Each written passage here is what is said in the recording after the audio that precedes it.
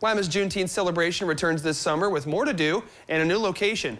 The Juneteenth festivities will be held on June 15th from noon to 6 p.m. at the Greater Lima Region Park and Amphitheater. Families can look forward to food trucks, live music, inflatables, and shopping with small business pop-ups with over 50 vendors. Organizers say there's plenty of fun to be had for people of all ages, and it's a great opportunity to appreciate local culture.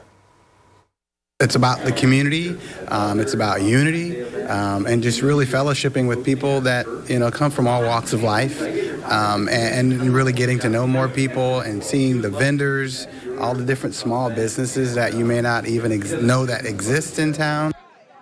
To find out more, you can visit Juneteenth Lima on Facebook.